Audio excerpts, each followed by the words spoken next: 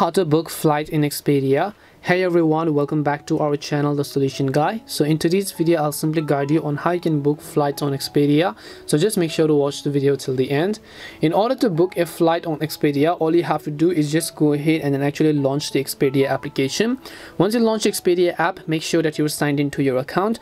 Now what you need to do is you'll see this type of interface, right? So just tap on the button that says flights, which is at the very top right, in order to find the what flights are available for you. So just select flying from this specific uh, city to another specific city. So over here i'll just select a specific location. Once i select a location in this case on the next specific you have to choose your destination. So i'll just go ahead and I'll select my destination in this case as well. Now once i select my destination i can choose the start date at the top and then i can choose the end date. So i can just select from this and from the start date to end date after that and then just tap on the done button. Once i select it you can see travelers. You can select the number of travelers such as adults youths children and so on. You can select all those and then you can just select a preferred class which is economy or you can actually fly a premium economy or first class or business.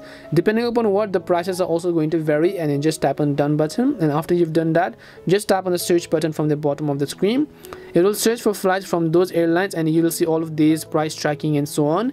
And all you have to do is at the bottom you'll see this information. And now you can simply select a flight that you want. Once you select a specific flight for a date tap on the continue button from the top bottom right.